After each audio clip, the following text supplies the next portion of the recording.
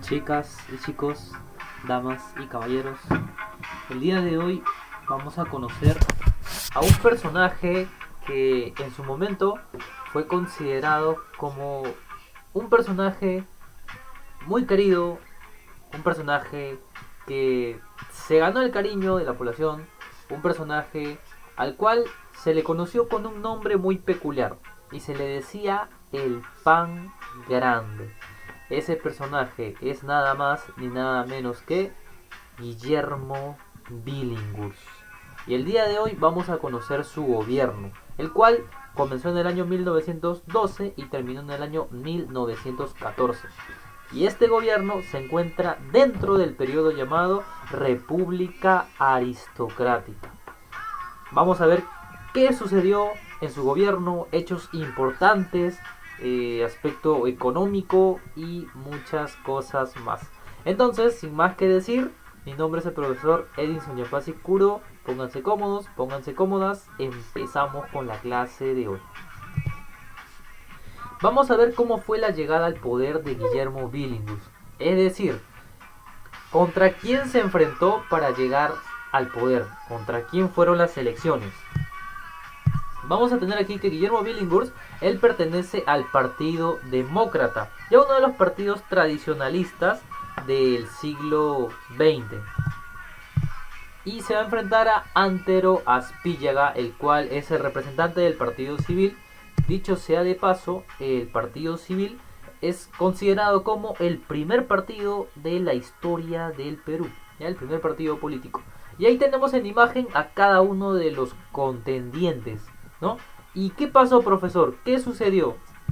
Guillermo Billinghurst fue quien se llevó la victoria. Ya, ya, Antero Espillaga, lo siento, para la próxima será. Ahora, vamos a conocer las características generales de este gobierno. El primer punto es que es considerado como un gobierno de carácter populista.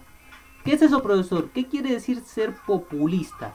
Quiere decir que este gobierno prometía darle bastantes cosas a la población o darle bastante eh, beneficio a la población, sobre todo a las personas de clases bajas.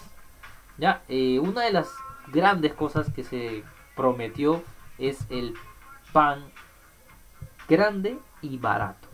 Ya, ese era un eslogan que tenía Guillermo Billinghurst antes de ingresar al poder. ¿No? Él decía, si yo ingreso al poder, voy a hacer que haya pan grande y barato. Pero si ingresa ante los Píllaga, no va a ser así. El pan va a costar caro y va a ser pequeño. Entonces, eso fue como que algo que caracterizó bastante, ¿no? Guillermo Billinghurst. Y fue por eso que le pusieron el nombre del pan grande. ¿Ya? Pan grande y barato. Ahí está el pancito que por ahí seguro en la mañana comes en tu desayuno.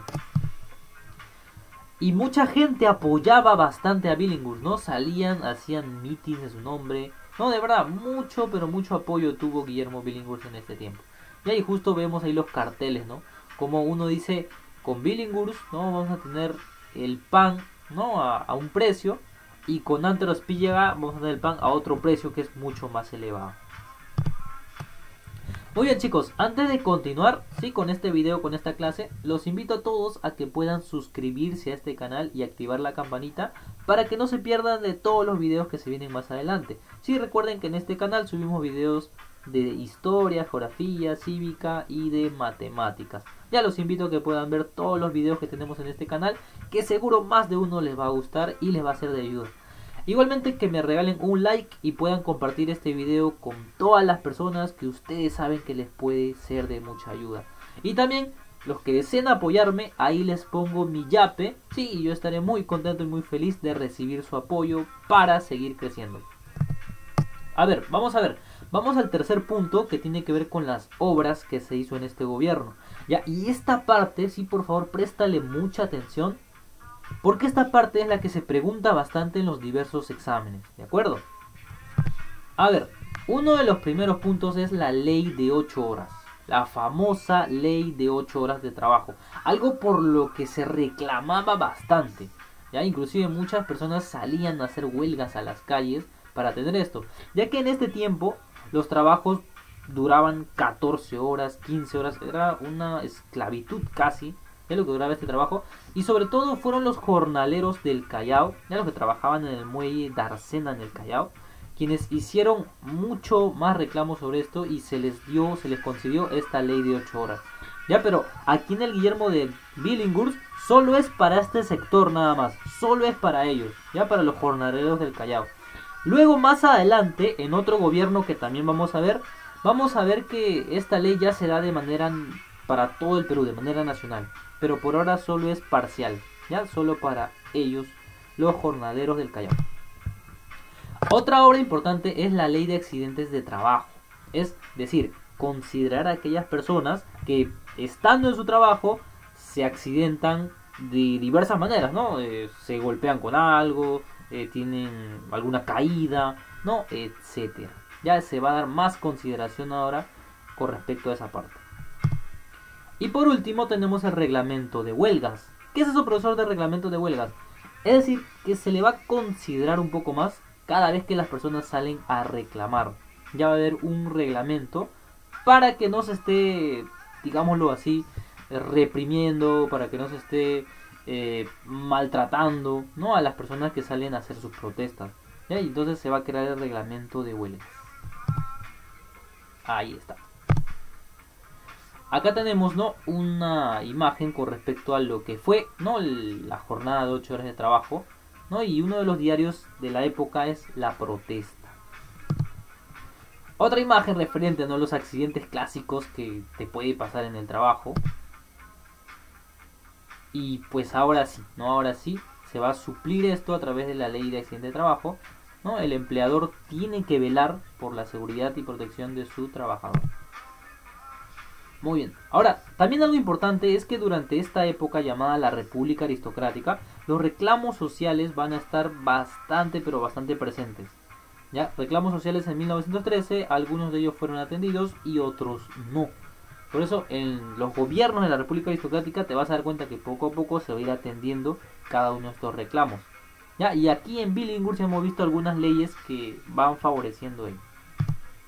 Muy bien, ahora sí chicos, vamos a la última parte, ¿ya? El fin del gobierno de Guillermo Billinghurst. ¿Cómo es que se termina, profesor? Porque recuerda, mira, él gobierna de 1912 a 1914. Solo son dos añitos nada más. En este tiempo se gobernaba cuatro años. ¿Y qué pasó, profesor? Es que lo que pasa es que Guillermo Billinghurst estaba con el Partido Demócrata. Y en ese tiempo la mayoría eran del Partido Civil. E inclusive las clases altas estaban, podríamos decirse, coludidas con el Partido Civil. Entonces, como Guillermo Billinghurst estaba en contra, no iba a estar mucho tiempo en el gobierno.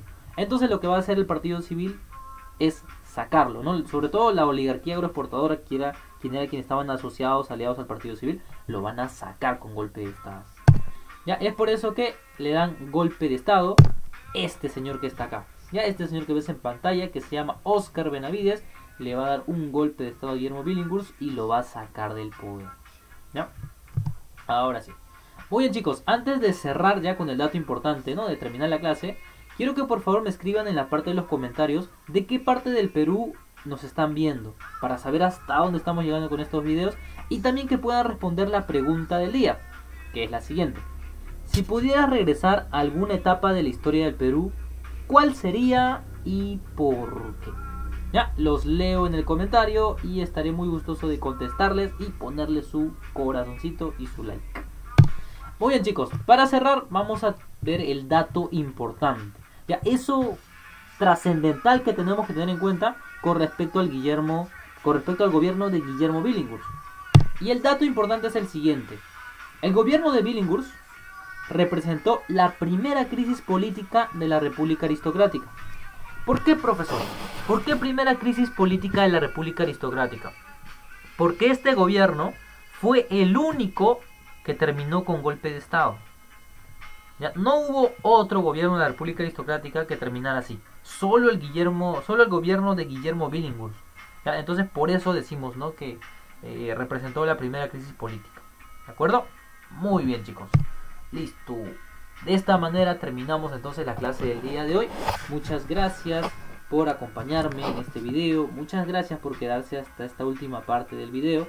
Quiero darles un datito antes de despedirme. Ya un datito curioso Guillermo Billinghurst, antes de ser presidente, él fue alcalde de Lima. Sí, alcalde de Lima, si no me equivoco, desde el año 1909 hasta el año 1902. Ya por eso es un caso muy peculiar el de Billinghurst, que pasó de la alcaldía de Lima, de la municipalidad de Lima, al palacio de gobierno. Bueno, eso sería todo. Mi nombre es el profesor Edinson Yapasicuro. Hablamos en el próximo video. Cuídense mucho chicos. Hasta luego.